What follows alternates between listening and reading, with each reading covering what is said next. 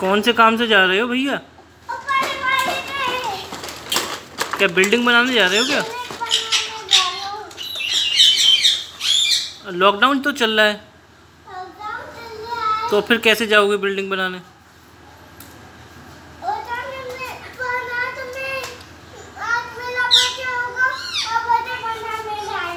Birthday बनाने जा रहे हो अपना? क्या, पुलिस हो क्या? पुलिस हो क्या? ड्यूटी पे जा रहे हो?